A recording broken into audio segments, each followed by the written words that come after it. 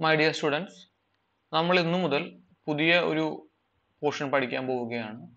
Volumetric strain of a cylindrical rod നമ്മൾ കഴിഞ്ഞ ക്ലാസ്സിൽ volumetric strain for a rectangular body പഠിച്ചിരുന്നു. അതിന്റെ കണ്ടിന്യൂഷൻ ആയിട്ട് വരുന്ന ഒരു ഭാഗമാണത്.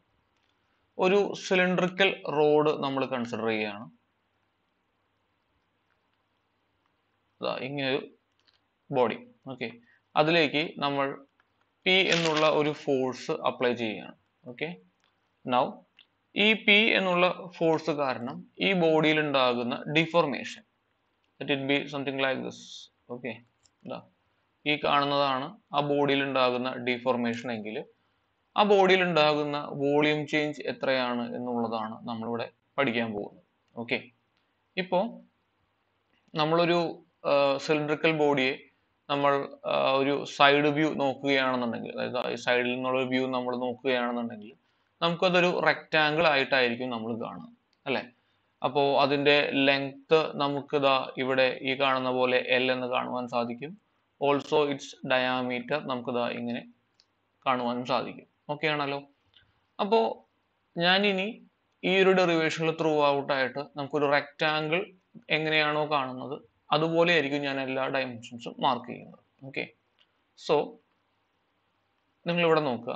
ഇതൊരു റെക്റ്റാങ്കിൾ ആയിട്ടാണ് നമുക്ക് കാണുന്നത്. ആക്ച്വലി ഇത് എന്താണ് ആക്ച്വലി ഇതൊരു സിലിണ്ടറാണ് അപ്പോൾ ആ സിലിണ്ടറിന്റെ ഡയാമീറ്റർ നമുക്ക് ഡി എന്ന് മാർക്ക് ചെയ്യാം. ഓക്കെ അതിന്റെ ഡയാമീറ്റർ നമുക്ക് ഡി എന്ന് മാർക്ക് ചെയ്യാം. അതുപോലെ അതിന്റെ ലെങ്ത് നമുക്ക് എൽ എന്ന് മാർക്ക് ചെയ്യാം. Okay after the application of load നമ്മളിപ്പോൾ ഒരു പി എന്നുള്ള ഒരു ലോഡ് അപ്ലൈ ചെയ്ത് കഴിഞ്ഞ് കഴിഞ്ഞാൽ അതിന്റെ ഡീഫോർമേഷൻ ഈ കാണുന്ന രീതിയിലേക്ക് മാറി എന്ന് നമുക്കൊന്ന് വിചാരിക്കാം. ഓക്കെ അപ്പോൾ അതിന്റെ ഒറിജിനൽ ഡയമെൻഷൻസ് ആയിട്ടുള്ള എൽ ഞാനിവിടെ മാർക്ക് ചെയ്യുന്നുണ്ട്. എല്ലും അതേപോലെ തന്നെ ഡിയും ഞാനിവിടെ മാർക്ക് ചെയ്യുന്നുണ്ട്. അത് കഴിഞ്ഞതിന് ശേഷം അതിൽ വന്ന മാറ്റം. ഓക്കെ സപ്പോസ് അതിന്റെ ലെങ്ത് ഇൻക്രീസ് ആയിട്ടുണ്ടാവും അല്ലേ? അപ്പോൾ ഞാൻ അതിനെ എൽ പ്ലസ് ഡെൽറ്റ എൽ എന്ന് മാർക്ക് ചെയ്യുന്നു. ഓൾസോ അതിന്റെ ഡയാമീറ്റർ ഡിക്രീസ് ചെയ്തിട്ടുണ്ടായിരിക്കും. കാരണം പോയ്സൺസ് റേഷ്യോ എഫക്റ്റ് കാരണം നമ്മളത് പഠിച്ചിട്ടുണ്ട്. എന്താണ് ലീനിയർ സ്ട്രെയിൻ എന്നും എന്താണ് ലാറ്ററൽ സ്ട്രെയിൻ എന്നും നമ്മൾ പഠിച്ചിട്ടുണ്ട്. അപ്പോൾ അതിൽ ഉണ്ടാകുന്ന ഡയാമീറ്ററിലെ റിഡക്ഷൻ നിങ്ങൾ വിചാരിക്കുക. ഡി മൈനസ് ഡെൽറ്റ ഡി എന്നുള്ള ഡയാമീറ്ററിലേക്കാണ് അത് തിരിച്ചെത്തിയിരിക്കുന്നത് നമുക്ക് വിചാരിക്കാം. ഓക്കെ ഒറിജിനൽ ഡയാമീറ്റർ ഡി ആയിരുന്നു. രണ്ട് സൈഡിലും നമുക്കൊരു ഇവിടെയും നമുക്ക് റിഡക്ഷൻ ഉണ്ടായി ഇവിടെയും നമുക്ക് റിഡക്ഷൻ ഉണ്ടായി. സോ ഹെൻസ് ഫൈനൽ ഡയാമീറ്റർ നമുക്ക് എന്ത് വിചാരിക്കാം? ഡി മൈനസ് ഡെൽറ്റ ഡി ആണെന്ന് നമുക്ക് വിചാരിക്കാം. ഓക്കെ നൗ ദാ ഇവിടെ നോക്കുക കേട്ടോ. ഞാനിവിടെ അതിന്റെ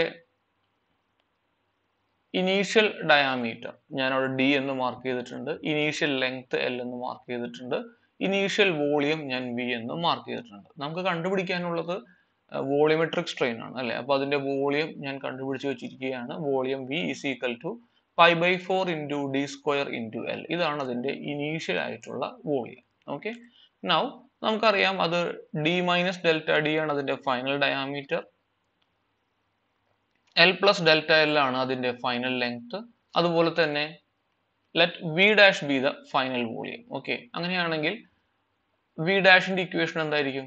Pi by four into D minus delta D the whole square into L plus delta L എന്നുള്ളതായിരിക്കും അതിന്റെ ഫൈനൽ വോളിയം ഓക്കെ നൗ നമുക്ക് അതിന്റെ ചേഞ്ച് ഇൻ വോളിയം എത്രയാണെന്ന് നോക്കാം. അല്ലെ? ചേഞ്ച് ഇൻ വോളിയം എന്ന് പറഞ്ഞാൽ എത്രയാണ്? ഡെൽറ്റ വി നമുക്ക് എന്ത് എഴുതാം? Final volume minus initial volume എന്ന് നമുക്ക് എഴുതാം. ഓക്കെ അപ്പോൾ ഞാൻ എഴുതുകയാണ് ആ D minus delta D the whole square എന്നുള്ള ടേം ഉണ്ടല്ലോ. അതിന് ഞാൻ എക്സ്പാൻഡ് ചെയ്യുകയാണ്.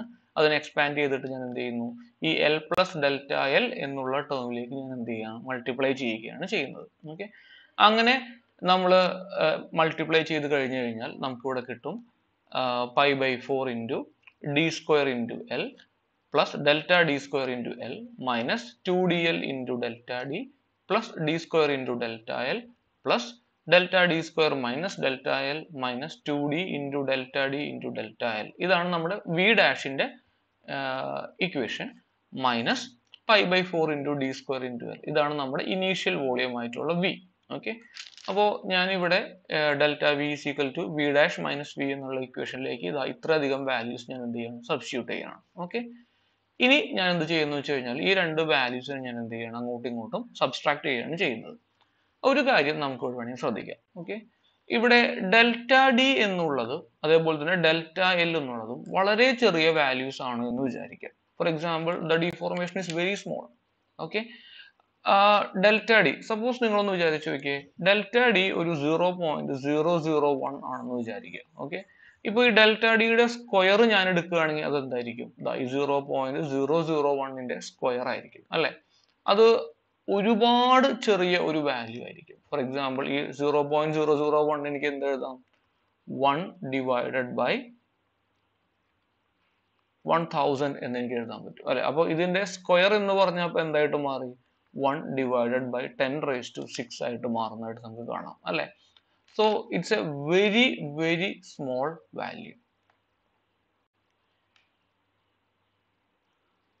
as it is a very very small value we can neglect it okay നമുക്ക് ആ ഒരു വാല്യൂ നമ്മുടെ ഇക്വേഷനിൽ ഉൾപ്പെടുത്തിയത് കൊണ്ട് പ്രത്യേകിച്ച് അഡ്വാന്റേജ് ഒന്നും ലഭിക്കാനില്ല.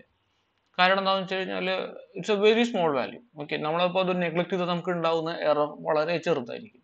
മാത്രമല്ല അങ്ങനെ നെഗ്ലക്ട് ചെയ്യുന്നത് കൊണ്ട് നമ്മുടെ കമ്പ്യൂട്ടേഷണൽ എഫേർട്സ് ഒരുപാട് കുറയുകയാണെങ്കിൽ നമുക്ക് അതാണ് കുറച്ചും കൂടി നല്ലത്. ഓക്കെ സോ ഇവിടെ ഞാൻ എന്താ ചെയ്യുന്നത് വെച്ച് കഴിഞ്ഞാൽ we are neglecting products of higher powers of small quantities okay for example higher power means square cube അങ്ങനെയൊക്കെ വരികയാണ്. മാത്രമല്ല സ്മോൾ ക്വാണ്ടിറ്റീസ് എന്ന് ഉദ്ദേശിക്കുന്നത് ഇവിടെ ഡെൽറ്റ എൽ ഡെൽറ്റ ഡി തുടങ്ങിയ വാല്യൂസിനെയാണ് അവിടെ ഉദ്ദേശിക്കുന്നത്. Okay higher powers of small quantities എന്നുള്ള ഐഡിയ എല്ലാവർക്കും ക്ലിയർ ആയി എന്ന് വിശ്വസിക്കുന്നു. ഓക്കെ നൗ നമ്മൾ എന്ത് ചെയ്യുന്നത് വെച്ച് കഴിഞ്ഞാൽ ഡെൽറ്റ വിക്ക് നമ്മളൊരു സിംപ്ലിഫൈഡ് ആയിട്ടുള്ള ഒരു ഇക്വേഷനിലേക്ക് നമ്മൾ എത്തുകയാണ്. Delta V is equal to pi by 4 into d square into delta L minus 2d into L into delta D. Okay. D square into delta L minus two into D into L into delta D എന്നുള്ള വളരെ simplified ആയിട്ടുള്ള ആയിട്ടുള്ളൊരു ഇക്വേഷനിലേക്ക് നമ്മൾ എത്തുകയാണ്. Okay now we are going to calculate the volumetric strain epsilon V is equal to delta V by V which is equal to pi by four into D square into delta L minus two D into L delta D all divide by pi by four into D square into L അല്ലെ? നമ്മുടെ delta V എന്താണ്? നമ്മുടെ change in volume ആണ്. V എന്നുള്ളത് നമ്മുടെ initial volume ആണ്. നമ്മൾ രണ്ടുപേരുടെയും വാല്യൂസ് നമ്മൾ എന്ത് ചെയ്യുന്നു? ഈ ഇക്വേഷനിൽ സബ്സ്റ്റിറ്റ്യൂട്ട് ചെയ്യുന്നു. ഓക്കെ അങ്ങനെ സബ്സ്റ്റിറ്റ്യൂട്ട് ചെയ്ത് കഴിഞ്ഞ് കഴിഞ്ഞാൽ നമുക്ക് എന്നിട്ട് നമ്മളത് ഓപ്പറേറ്റ് ചെയ്യുകയാണ് കേട്ടോ ഓക്കെ ഈ pi by four pi by four ഇവിടെ ക്യാൻസൽ ആയി പോകുന്നത് നമുക്ക് കാണുവാൻ സാധിക്കും. ഓക്കെ എന്നിട്ട് നമ്മൾ ഈ ഒരു D square delta L minus two D into L delta D divide by D square into L ഈ ഒറ്റ ടേമിൽ നമ്മൾ ഓപ്പറേറ്റ് ചെയ്യുകയാണെങ്കിൽ നമുക്കിവിടെ ലഭിക്കുന്നത് ഇക്വേഷൻ ആണ് epsilon V is equal to delta L minus two into delta D by D എന്ന് നമുക്ക് കിട്ടും. ഓക്കെ നിങ്ങൾക്ക് ഇതൊരു ഡിഫിക്കൽട്ടി ഉണ്ടാകില്ല എന്ന് വിശ്വസിക്കുകയാണ്. ഓക്കെ ഇവിടെ ഇപ്പോൾ ഇത് ഓപ്പറേറ്റ് ചെയ്യാൻ ഭയങ്കര എളുപ്പമാണ്. എങ്കിലും കൺഫ്യൂഷൻ ഉള്ളവർക്ക് വേണ്ടി ജസ്റ്റ് ഒന്ന് ചെയ്ത് കാണിച്ചു തരികയാണ് del square D square into delta L divided by D square into L minus two D into L into delta D all divided by D square into L എന്നൊന്ന് ഓപ്പറേറ്റ് ചെയ്താൽ മതി. Okay അപ്പോൾ നമുക്ക് ഇവിടെ സ്ക്വയർ ഡി സ്ക്വയർ ക്യാൻസൽ ആവും ഇവിടെ D ഇത് cancel ആവും. എൽ എൽ ക്യാൻസൽ ആവും. And then 2 into delta D by D മാത്രം അവിടെ ബാക്കി ഉണ്ടാവും ഓക്കെ അപ്പോൾ അത് ആ ഇക്വേഷനാണ് നമ്മൾ ഇവിടെ എഴുതിയിട്ടുള്ളത്. Epsilon V is equal to delta L by L minus two into delta D by D okay ഇതാണ് നമ്മുടെ വോളിയോമെട്രിക് സ്ട്രെയിന്റെ ഇക്വേഷൻ ഓക്കെ ഇതാണ് നമ്മുടെ volumetric സ്ട്രെയിന്റെ equation or we can write that delta L by L എന്ന് പറഞ്ഞാൽ എന്താണ്? അതിൽ അത് ലോഞ്ചിറ്റ്യൂഡിനൽ സ്ട്രെയിൻ ആണ് അല്ലേ? ഡെൽറ്റ എൽ ബൈ എൽ എന്ന് പറഞ്ഞു കഴിഞ്ഞാൽ അത് ലോഞ്ചിറ്റ്യൂഡിനൽ സ്ട്രെയിൻ ആണ് epsilon L minus two into delta D by D എന്ന് പറഞ്ഞാൽ എന്താ? അത് ഡയമെട്രിക്കൽ സ്ട്രെയിനുമാണ് ഓക്കെ അപ്പോൾ നമുക്ക് വേണമെങ്കിൽ ഈ ഇക്വേഷനെ ഈ ഒരു ഫോർമാറ്റിലേക്കും കൂടി നമുക്ക് മാറ്റി എഴുതാവുന്നതാണ് ഓക്കെ വളരെ സിമ്പിൾ ആയിട്ടുള്ള നമ്മുടെ മുമ്പത്തെ റെക്റ്റാങ്കുലർ ബോർഡിയുടെ അത്രയും നമുക്ക് സ്റ്റെപ്പുകളില്ലാത്ത ഒരു സിമ്പിൾ ആയിട്ടുള്ള ഒരു ഡെറിവേഷൻ ആണ്. നിങ്ങൾ എല്ലാവരും ഈ ഡെറിവേഷൻ പഠിക്കണം. ഓക്കെ ഈ ഒരു ഡെറിവേഷൻ നമുക്ക് പലതവണ റിപ്പീറ്റ് ചെയ്ത് ചോദിച്ചിട്ടുള്ള ഒരു ക്വസ്റ്റ്യൻ കൂടിയാണ് ഓക്കെ ഇനി നമുക്ക് ഇനി നമുക്ക് ബൾക്ക് മോഡുലസ് എന്നുള്ള ടേം എന്താണെന്ന് നമുക്ക് പഠിക്കാം okay when a body is subjected to mutually perpendicular equal direct stresses either compressive or tensile the ratio of direct stresses to the corresponding volumetric strain is found to be a constant for a given material when the deformation is within a certain limit this ratio is known as bulk modulus k okay k is equal to direct stress divided by volumetric strain okay ഇതൊരു statement പോലെ നമ്മൾ വായിച്ചു ഇത്രയേ ഇതിൽ ഉദ്ദേശിക്കുന്നുള്ളൂ നമ്മൾ Young's modulus പഠിച്ചു അല്ലെ Young's modulus എന്തായിരുന്നു നമുക്ക് കംപ്രസീവ് സ്ട്രെസ് അല്ലെങ്കിൽ tensile stress divided by corresponding strain ആയിരുന്നു ഓക്കെ നമുക്ക് ഷിയർ മോഡലസ് നമ്മൾ പഠിച്ചു അല്ലെ ഷിയർ മോഡുലസ് എന്തായിരുന്നു? Shear stress divide by shear strain നമ്മൾ പഠിച്ചു അല്ലെ? അതുപോലെ തന്നെ നമുക്ക് പഠിക്കാനുള്ള അടുത്ത ടേമാണ് bulk modulus bulk modulus equal to direct stress divided by volumetric strain അല്ല എങ്കിൽ നമുക്ക് വേണമെങ്കിൽ ഇങ്ങനെ എഴുതാം. Volumetric stress divided by volumetric strain എന്ന് എഴുതിയാലും തെറ്റില്ല. ഓക്കെ നിങ്ങൾ ഈ ടേം ഫ്ലൂയിഡ് മെക്കാനിക്സിലും ഒക്കെ നമ്മൾ കണ്ടിട്ടുണ്ട് അല്ലെ? ഫ്ലൂയിഡ് മെക്കാനിക്സിൽ നിങ്ങളത് ഓർക്കുന്നു എന്ന് വിചാരിക്കുന്നു. One by bulk modulus equal to നമ്മൾ കംപ്രസിബിലിറ്റി എന്ന് നമ്മൾ പഠിക്കുന്നുണ്ട് അല്ലേ? കംപ്രസിബിലിറ്റി അതായത് ഫ്ലൂയിഡ്സിന്റെയും ഗ്യാസസിന്റെയും ഒക്കെ കംപ്രസിബിലിറ്റി നമ്മൾ പറയുന്നത് എന്തായിട്ടാണ്? One by one by bulk modulus എന്നാണ് പറയുന്നത് വിച്ച് ഈസ് കംപ്രസിബിലിറ്റി നമ്മൾ സി എന്നുള്ള ഒരു ടേം വെച്ചിട്ടാണ് നമ്മൾ റെപ്രസെന്റ് ചെയ്യാറുള്ളത് അല്ലേ? സോ നിങ്ങൾ ബൾക്ക് മോഡൽസ് പഠിക്കുക. ഇതൊരു റേഷ്യോ ആണെന്ന് നിങ്ങൾ പഠിക്കുക. അപ്പോൾ അതിന്റെ യൂണിറ്റ് എന്തായിരിക്കും വരിക? നമുക്കറിയാം സ്ട്രെസ്സിന്റെ യൂണിറ്റ് എന്താണ്? It is newton per metre square സ്ട്രെയിനിന് unit ഇല്ല അല്ലെ? അപ്പോ ബൾക്ക് മോഡുലസിന്റെ യൂണിറ്റ് എന്ത് തന്നെയായിരിക്കും? ന്യൂട്ടൺ പെർ മീറ്റർ സ്ക്വയർ തന്നെയായിരിക്കും. ഓക്കെ അത് എസ് ഐ യൂണിറ്റ്സ് ആണ് ന്യൂട്ടൺ പെർ മീറ്റർ സ്ക്വയർ എന്നുള്ളത്. നമുക്ക് ന്യൂട്ടൺ പെർ മില്ലിമീറ്റർ സ്ക്വയർ അതുപോലെ kilo newton per millimetre square അങ്ങനെ എന്ത് വേണമെങ്കിലും നമുക്ക് യൂട്ടിലൈസ് ചെയ്യാം. കുഴപ്പമൊന്നുമില്ല. ഓക്കെ ഇതിനാണ് നമ്മൾ ബൾക്ക് മോഡുലസ് എന്ന് നമ്മൾ പറയുന്നത്. ഓക്കെ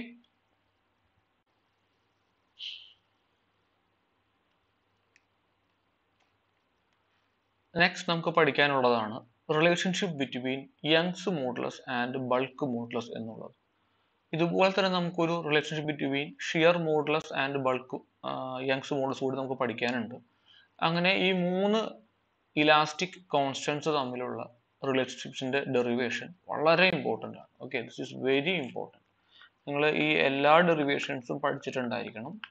ഓക്കെ നിർബന്ധമാണ് കേട്ടോ. അതിൽ യാതൊരു കോംപ്രമൈസും ഇല്ല. എന്തായാലും പഠിക്കണം.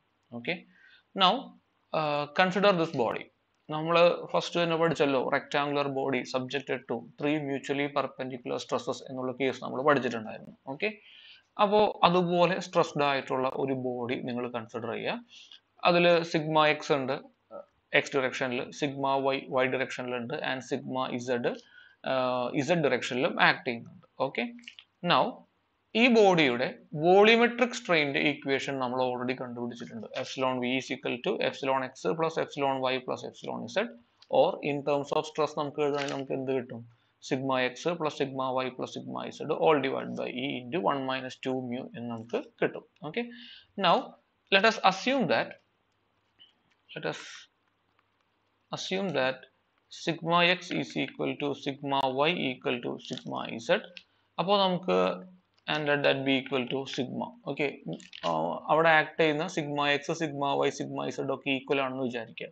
അങ്ങനെയാണെങ്കിൽ നമുക്ക് അതിന്റെ വാല്യൂ സിഗ്മ എന്ന് കൊടുക്കുകയാണെങ്കിൽ നമുക്ക് ഇവിടെ ഈ ഇക്വേഷനിൽ എന്ത് എഴുതാം? ഇവിടെ നമുക്ക് three into sigma divided by E എന്ന് എഴുതാലോ? Into one minus two mu എന്ന് നമുക്ക് എഴുതാം. ഇതാണ് നമ്മുടെ എപ്സിലോൺ വിയുടെ ഇക്വേഷൻ വരുന്നത്. ഓക്കെ നൗ ഇവിടെ നോക്കുക കേട്ടോ. നമുക്ക് ബൾക്ക് മോഡുലസ് എന്ന് പറഞ്ഞാൽ എന്തായിരുന്നു? Direct stress divided by volumetric strain ആയിരുന്നു. അല്ലെ?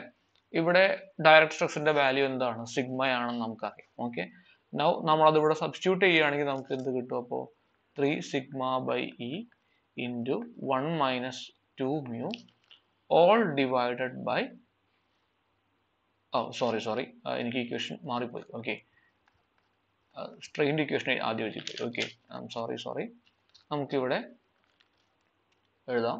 Sigma divided by three sigma by E into one minus two mu എന്ന് നമുക്ക് എഴുതാം. ഓക്കെ ഇതാണ് കറക്റ്റ് ഇക്വേഷൻ ഓക്കെ നൗ ഇവിടെ നമുക്ക് സിഗ്മ സിഗ്മ ക്യാൻസൽ ചെയ്ത് കിട്ടും അല്ലേ? Now we can get k is equal to 1 divided by 3 by e into 1 minus 2 mu എന്ന് നമുക്ക് കിട്ടും or we will get k is equal to ഞാൻ ആ ഇനെ മുകളിൽ ന്യൂമറേറ്ററിലേക്ക് കൊണ്ടുപോവുകയാണ് okay E divided by three into one minus two mu എന്ന് നമുക്ക് കിട്ടും അല്ലെ or we can write E is equal to 3k into 1 minus 2 mu okay E is equal to 3k into 1 minus 2 mu okay വളരെ important ആയിട്ടുള്ള ഒരു relationship ആണ് കേട്ടോ okay ഇത് നിങ്ങൾ നന്നായിട്ട് പഠിക്കണം. നമുക്ക് ഇത് fluid mechanics geotechnical engineering അങ്ങനെ ഒരുപാട് സബ്ജക്റ്റുകളിൽ റിപ്പീറ്റ് ചെയ്ത ആവശ്യം വരുന്ന ഒരു ഇക്വേഷൻ ആണ്. Okay is equal to three K into one minus two mu